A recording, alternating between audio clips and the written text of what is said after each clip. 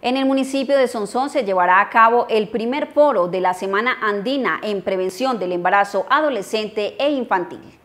Este foro se realiza en el marco de la celebración del Mes de la Juventud Sonsón 2018. Cada día tenemos más niñas a más corta edad quedando en embarazo, niñas de 12 años hemos tenido en el municipio de Sonsón, entonces de verdad que esto es demasiado preocupante porque una niña a esa edad no tiene ni siquiera la capacidad eh, física ni emocional para enfrentar una maternidad y se corren a veces muchos riesgos de muertes maternas por todo lo que implica un embarazo a esta edad. También se aumentan las, las la pobreza, porque muchas veces ellas ya no pueden continuar estudiando, se tienen que dedicar a cuidar su hijo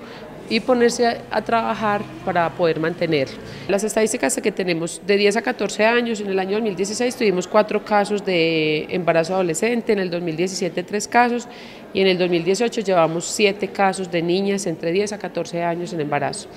y de 15 a 19 años. En el 2016 tuvimos 60 casos, en el 2017 53 casos y en el 2018 48 casos. Este foro se estará realizando el próximo miércoles 26 de septiembre a las 3 de la tarde en el auditorio del Centro de Convivencia Ciudadana. Donde vamos a tener diferentes ponentes de diferentes áreas, desde la parte médica, vamos a presentar eh, las estadísticas y vamos a hablarle pues a, a, jóvenes, a diferentes personas que invitamos de todas las instituciones del municipio de Sonsón, de las instituciones educativas, para que cada uno de los rectores pues también como que le faciliten a los jóvenes eh, de cada institución participar en este importante foro, donde vamos a conocer pues como todas las, las consecuencias que se pueden tener ah, con un embarazo adolescente.